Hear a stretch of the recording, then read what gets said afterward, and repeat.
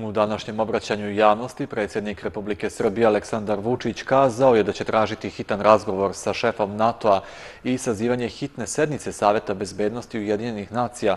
Vučić je govorio o kosovskoj krizi, naznačivši da se danas Srbija nalazi u najtežoj situaciji. On je također kazao da je Republika Srbija u prvih šest meseci imala dobar priliv direktnih stranih investicija, čak za 31% više nego prošle godine u istom periodu.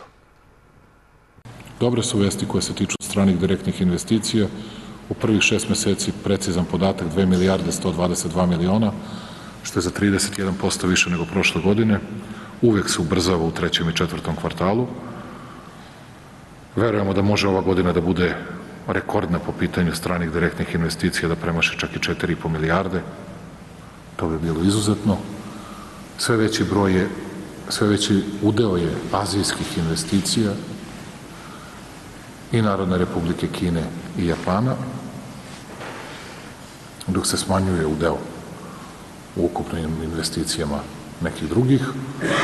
Za nas je važno da ih imamo uvek više, ali molim vladu da se posebno posveti rastu bruto domaćeg proizvoda i u rudarstvu, to se tiče veće kopanja uglja, pre svega.